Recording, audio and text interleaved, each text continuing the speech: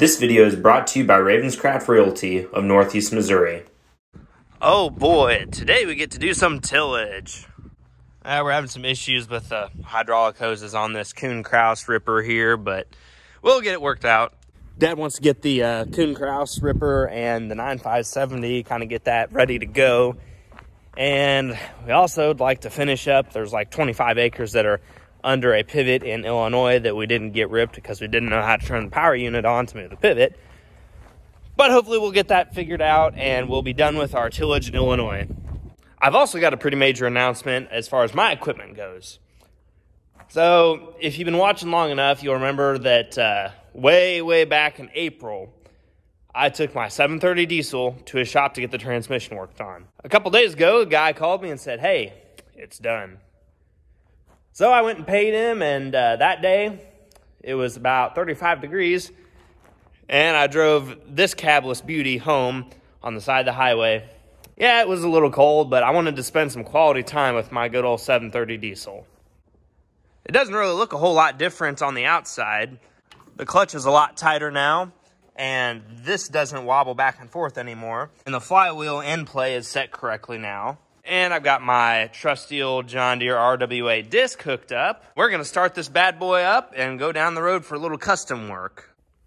So the reason that this actually went to the shop in the first place was uh, in third gear, it made a terrible, terrible popping sound. And I kind of deduced that there was probably at least one, maybe two, three, four, five bearings that were bad in the tractor. So I parked it and got it got a date lined up for it to go to the shop, and it just took the guy a little while, but he does excellent work, and I'm glad to have it back. I'm especially glad to have it back, not broken, and uh, not a ticking time bomb. It also still fires right up because it's a good old John Deere two-cylinder diesel, and that's what they do. We're long overdue for a John Deere 730 diesel cold start.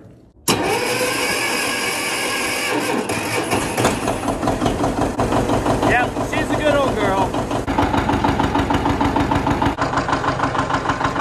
The long half mile road trip to this custom job is over. I'm gonna take the disc out of transport mode and we're gonna set her in the ground.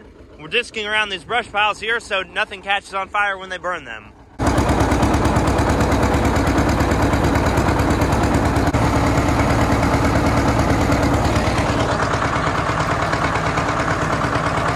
Well, it's a disc. It does exactly what an old disc is supposed to do, which isn't very much.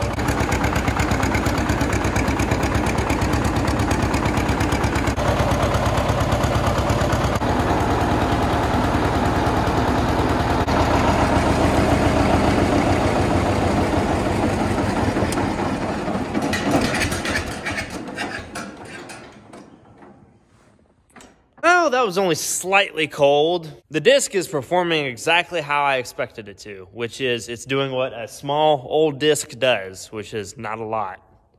The way around this is if you just go over the same spot like 10 times, then it turns it to powder. Dad has some actual work for me to do today, so we're gonna call him and see what the plan is. The plan, according to Dad, is I'm gonna go get him with his truck and he's gonna try and set the new Kuhn Ripper. Oh, I have to say goodbye to the puppy dog first. You're a good girl. Rip the Scotty potty. Here we are, and there's Dad all the way down there at the bottom of the hill. This is definitely a little bit nicer tillage team than what I was just using.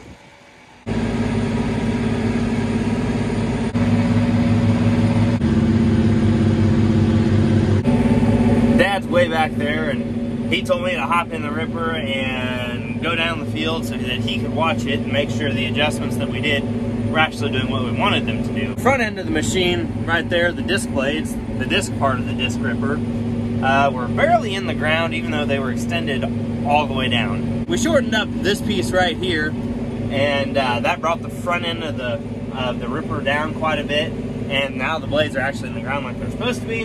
We really haven't tested either one of the rippers on heavy gumbo like we have here on the Missouri side of the river. Now this ground here, yeah, it's it's a it's a pretty light natured dirt, but uh, the true test of any disc ripper is to take it down on some tight, tight gumbo, sink it in the ground, and see what it does. The screen in this tractor here on the armrest does not have auto track unlocked on it, So we're using this screen here. It's just like a 2630 or whatever. It's the last gen uh, screen. Looking at this pass before we made adjustments, and then this pass after we made adjustments, there's a definite difference in how the soil works down behind this thing. So I think that their adjustments were not in vain. Seeing an implement behind a big green tractor that's orange is a little different, but I think I'll get used to it.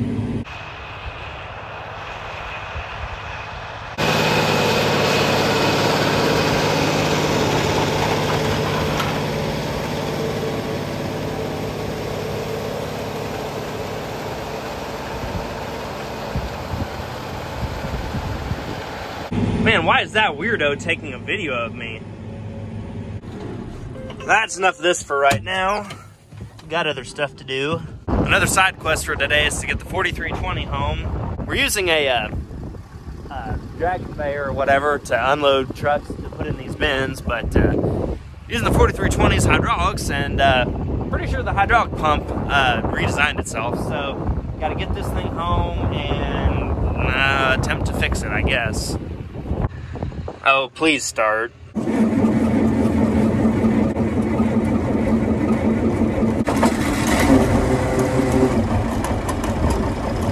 Never lost faith. Since the hydraulic pump doesn't really work the greatest now, we brought the 8400 over and we were using that to run the drive over pit. The hydraulic pump, we're pretty sure, is up in here somewhere and we're gonna have to get that fixed. It's starting to get kind of chilly and I'm gonna have to hype myself up for this drive about eh, two and a half, three miles home, so a little bit cold. Oh well.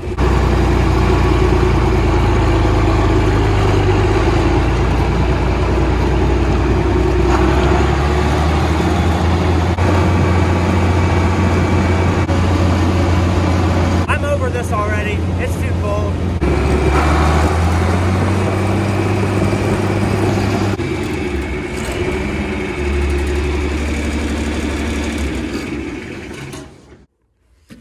That wasn't so bad. This 4320 has a lot higher road gear than my 730 does. Not joking when I say that it probably goes twice as fast down the road as this thing. But this is a good old girl and I'm gonna keep her around for quite a while. Open station tractor is a lot more fun in the summer when it's actually warm and uh, not 35 degrees. Yep, it's that time of year. Parked the truck the wrong direction and now it's got frost on the windshield. I just dropped our main man Rob off here at the brush hog and the tractor, fueled and deffed him up for the day. I'm heading back to the 9570 RX and the Kuhn Krause disc gripper. I like to finish that farm. There's like 95 acres there, and uh, I'd like to get it done today. I should be able to accomplish that barring any sort of major breakdown.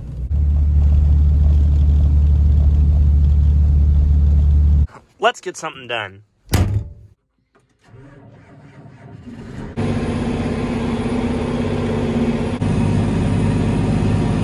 Right at about 4 o'clock, and uh, this is kind of boring. It's literally going across the field uh, 19 and 3 quarters feet at a time.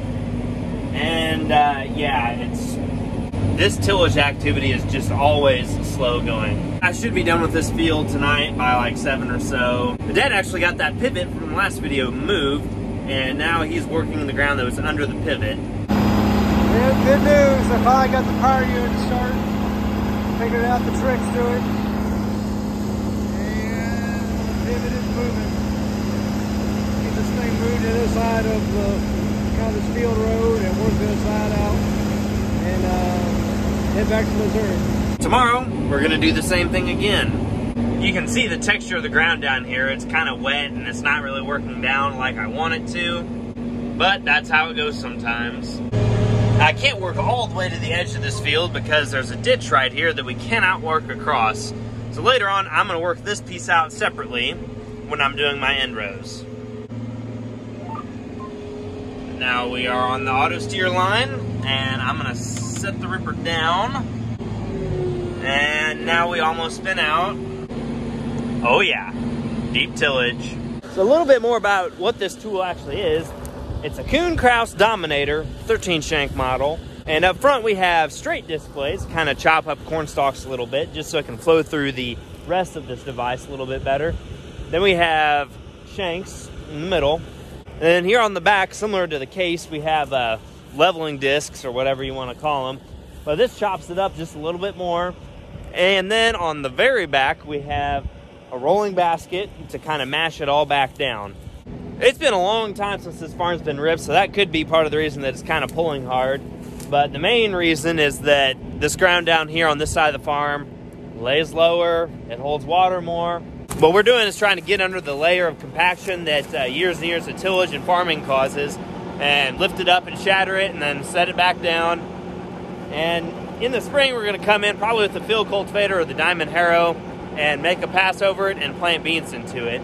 This bottom field is a little bit different soil than some of our gumbo that's that way. Some of the topsoil on this farm eroded off the hill many eons ago came down on that side of the field.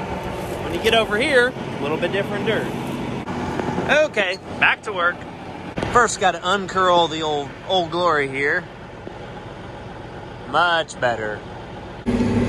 Finally getting her finished up. I can't wait to get home for supper. Mom made chili for tonight. Yes, I love chili. I love that flag.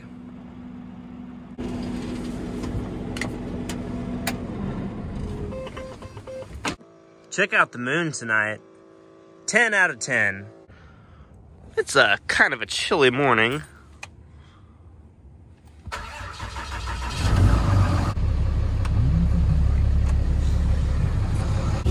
We're gonna let this bad boy warm up for like two hours and then we're gonna put some fuel in it. We are in beautiful Illinois once more. Gonna get this tractor moved over to Missouri today so that we can do some more work over there. Meanwhile, we're gonna attempt to cut some of this uh, nasty net wrap out of the ripper here. Oh yeah, this is nice. Net wrap is the enemy of bearings everywhere. Fortunately, a little bit of fire can take care of this stuff just fine. I think this bin right here would look really good as a bin Zebo. Well, with a little bit of time and a little bit of money, anything's possible. When we eventually tear this thing down, probably gonna cut off this angle iron first because this is good metal. Let's see what's inside. It could be anything. It could be stuck. Evidently, there were beans in here at one point in time, and I've never seen a floor in a bin like this before. It's kind of neat. Missouri, here we come. All we have to do is make it across the bridge, which is like a mile away, and we are good to go for Missouri.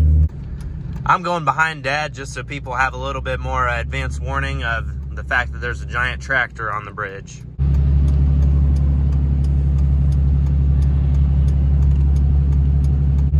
I love moving equipment through Hannibal. Love, love, love. We have safely made it to the Missouri side.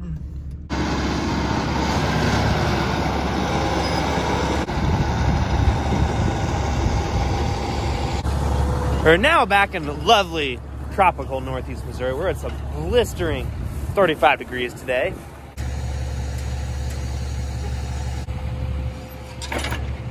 Now we're gonna get the 570 and the Krause moved over to the same farm. I think Dad and I might be double teaming that place today. Our neighbor here has a wide stance 620 RX and a, I think that's a, that's a big 2730 John Deere Ripper. I think the big Deere Rippers are like 13 shank and 25 foot wide. It's pretty similar to the uh, case ripper. It's got disc blades in the front that are like an actual disc, and then ripper shanks, and then a whole leveling apparatus behind that. On this narrow road here, I like to take it very slowly to minimize chances of ending up in the ditch again.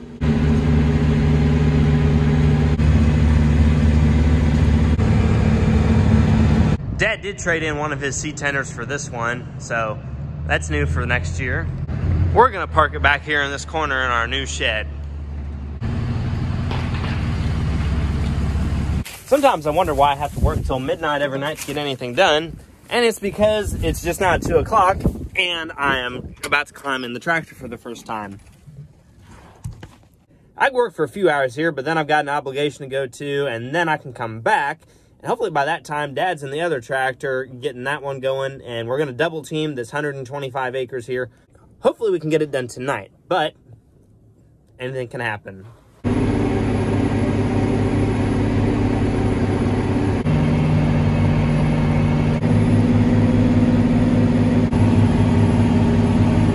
I've gotten a decent amount done here on this side of the farm, which is about, you know, 45 acres, somewhere in there. The last time that this farm was ripped in its entirety was in like 2017. 2017 was the first year that I actually farmed with my dad and grandpa, and uh, it feels like a long time ago. But last time we ripped it with a 512 John Deere disc ripper, and uh, I, I don't remember how it worked out.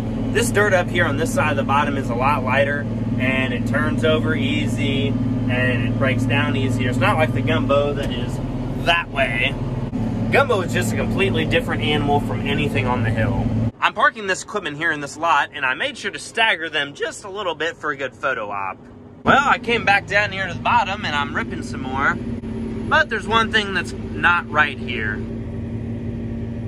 See that one bolt down there that's kind of moving? As we're quickly discovering, the one shortfall of these case or DMI rippers, the closing discs on the back of the implement like to loosen the bolts by themselves. And come to find out, on the 875s, they had an update and they made it backwards compatible with this because these have a bad habit of uh, breaking those eye bolts that hold these things on and then uh, the closing disc falls off.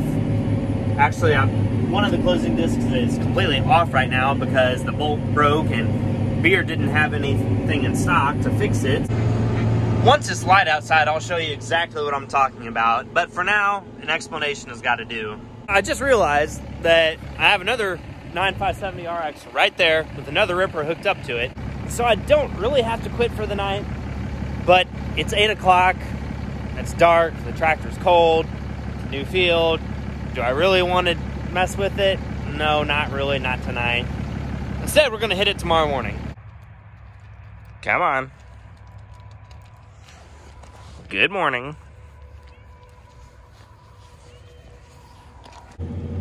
Looks like we have quite a few birdies that are following me around. Dad and Justin are working on the case ripper so that I can start using that whenever it gets fixed. But for now, I am using the Krause, and it's going all right. It would be a lot more cool if they were bald eagles. So on this case ripper, these Delima bobs right here are called the levelers. What they do is they move a little bit of dirt to make things a little more level behind the ripper. Unfortunately, they seem to be the shortcoming of the whole uh, case DMI ripper deal because these on this 875 are held on with an eye bolt and another bolt. And as we found out, they can come loose and uh, walk around and fall off sometimes. So Dad and Justin are here. We're gonna get the other one that fell off. We're gonna get it put back on and uh, attempt to get something done today. Here's the old, old style bracket and the new one.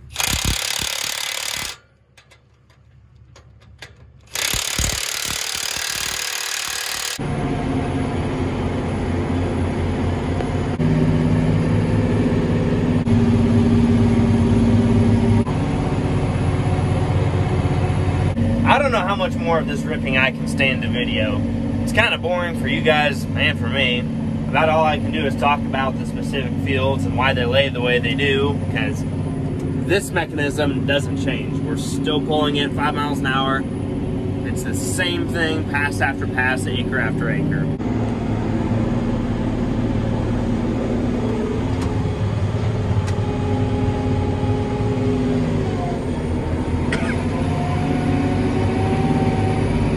Guys know me well enough to know that I can't pass up a chance to talk. But this field here is 125 acres, technically in two fields because there's an easement that goes between the two fields. And it lays east-west really long ways like this, and it's really short like that. Now that side of the place we can farm east and west because the rows are short enough and there's a good place to divide it so we can go north-south. But the rows over here, we're north-south, and they're too short to be long and too long to be short. You know what I mean? It, it just lays kind of funny. I've been asked before why we don't farm this piece uh, east-west, and the answer to that question is that uh, if we did that, the roads would be like a mile and a quarter long. And that kind of sucks for everything but planting. This is what we have. That's it. Uh, this is what I mean when I say it lays long this way. Now, this is the part over here that we're farming uh, east-west, and then everything else we're farming north-south. And this part in here I did with the Krause ripper, which is sitting over there. And there's a noticeable difference between the two rippers.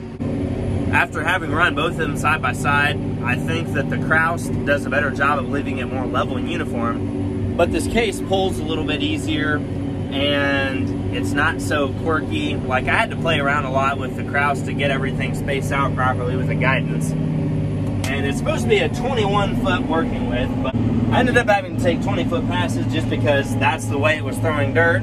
And I cannot stand to see a row of standing corn stalks down the field. That just grinds my gears. So until we're done with this, you're not gonna hear from me anymore. Okay, here's my all aboard the struggle bus moment for the day. Bluetooth isn't working. I don't know if I have anyone from John Deere watching, but you guys should really make the Bluetooth work all the time. Mm, I was trying to listen to a Volbeat song and, well, that got in the way of it. Probably gonna trade it off for a Case quad track now. You know, it's getting a little chilly here in the cab. Haha, funny numbers. With about a quarter mile of end rows left, I broke not one or two or three or four or five, but six shear bolts on the ripper shanks, all at the same time in the same place. So that's kind of problematic, but luckily, I have another tractor and another ripper right there. So I'm gonna hop in that one and finish the quarter mile of rows that I have left, and I'm going home. We just can't have nothing nice around here. Orange Ripper to the rescue. Let's get this freak show over with. Yep, here's the carnage. There's only 11 shanks on this ripper, and right now six of them are tripped. And one of the points is gone. I'm gonna measure that real quick so that we can get one and get one on the way and get it replaced. Now we're at Beard again, get shear bolts for the ripper that I broke. But uh, I think that's gonna be it for this one, guys, and uh, hope you liked it. Subscribe. Spare parts secured. Oh, let's put that over there. I hope everyone has a Merry Christmas and a Happy New Year. See you later.